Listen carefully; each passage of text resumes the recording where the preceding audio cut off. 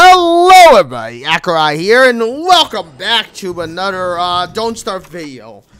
Um, in this video, we're not doing tips or anything, um, we're just going to be talking, and it might be a little bit of a shorter video than most of my other videos that you have seen me do. Um, mostly this is just because of the fact that today, we are not going to be doing a normal, um, tips video or anything. This is just going to be a normal, uh, let's talk and a small, short little let's talk about um, common mistakes and issues that I see um, see when people are playing uh, Don't Starve, um, it be Don't Starve Together or Don't Starve the original. Um, some of these issues are just like small common things that you know you will see um, uh, often enough or just mm, just by chance. Um, not all the time are these issues going to be predominant, but most of these issues are just a small thing that um, I've I've observed and I've seen over time, and you know, for me, it's just like one of those things where, for me, it's like it does get on my nerves. It does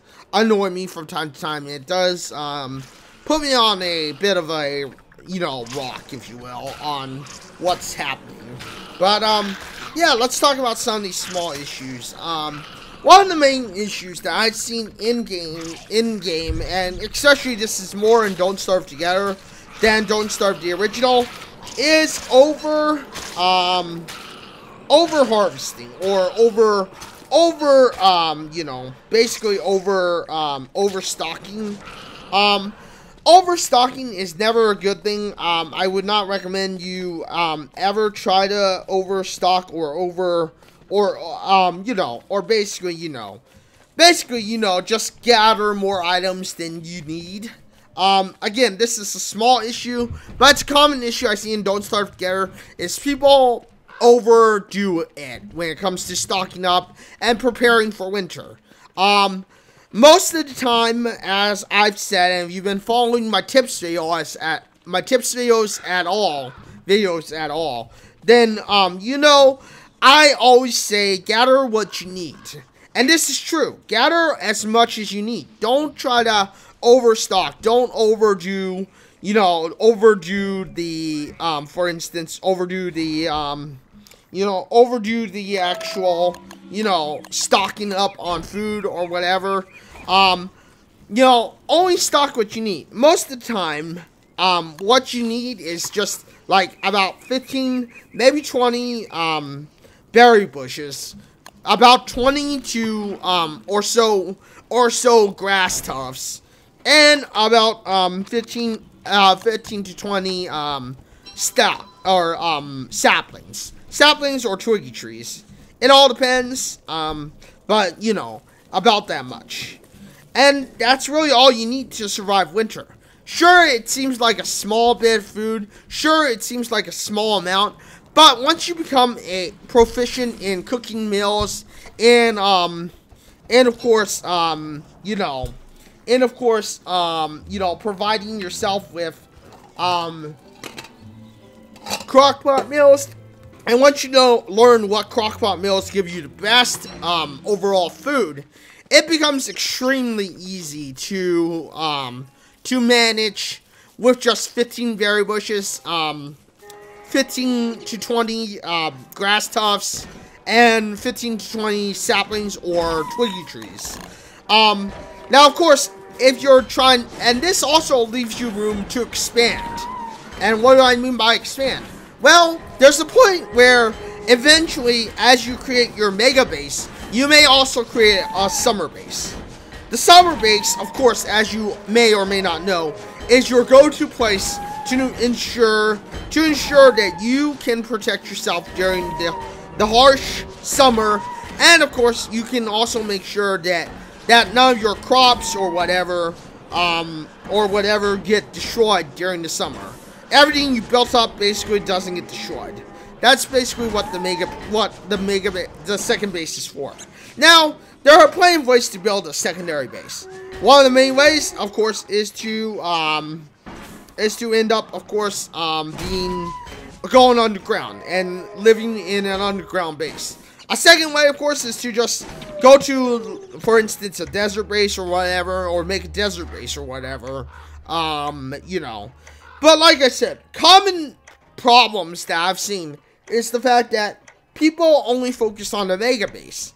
And the mega base, while incredibly large and supposedly supposed to be incredibly large, you know, the mega base shouldn't be your all year round um live in position. You should um be willing to, you know, live in for instance a um live in for instance a um a underground base. Um in an underground base, you'll almost never have to worry about about the sun burning your crops or anything like that. You never have to worry about having an overabundance of of heat. Um, you know, underground living or um, cave living during the summer is probably still the best way to survive. But on the off chance you want to fight dragonfly or something like that, um, then you'll want to build a base where nothing can burn. In other words, you'll want to go somewhere where you're going to create a small secondary base, a summer habitat, a summer summer living area, if you will. And in that area, of course, it doesn't really matter what you bring. It's just the essentials, aka a crockpot, probably an alchemy engine, and I mean most likely a few ice machines, a few ice machines, and maybe 10 to 15 uh, berry bushes berry bushes, um, 10 to 15 saplings, 10 to 15 grass tufts. I mean, you know, if you survived over a year, then it should be fairly easy to survive in a summer base. But, um, yeah, with that all being said, you know, this has just been my short common mistakes, common errors, um, you know, video. Um, these are just some things that I've seen. One of the main other things is, of course, cooking and whatnot, um, and just getting started. But, of course, if you've been following my how to get started guide, it shouldn't be that hard. You um, should already have a good enough idea of how to survive and whatnot in, um, in Don't Starve. Um, but yeah, with that being said, um, thank you everyone for joining me on this short video. Hopefully this has helped you understand some of the common errors, common mistakes, and common things that I've seen. Um, I guess one of the last things I should mention is overeating. Don't worry about your food or your hunger. Um, 9 out of 10 times you will survive. Um, another common mistake is sanity. I know a lot of people don't like playing on the edge of their sanity bar. People hate having problems where their sanity is gonna be um bad. But I mean, don't worry too much about your sanity. Your sanity is easily regained with um with things like like garland. Um, in the case of um you know Wolfgang uh, or uh, Maxwell, your sanity will regain all the time.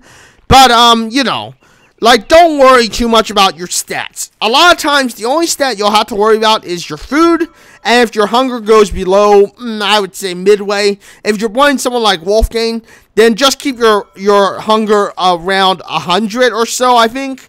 Um, but with that being said, I mean, thank you everyone for joining me on this sale. Thank you for watching this sale. If you enjoyed the sale, you know what to do. Hit that like button, get subscribed, hit that bell notification because I know you want to know when my next video drops next.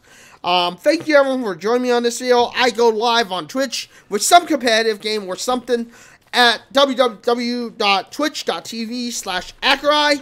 Um, you can join me there live where I'm going to be playing a competitive title or just something, um, you know, something. Um, variety like Fallout 76 or whatever.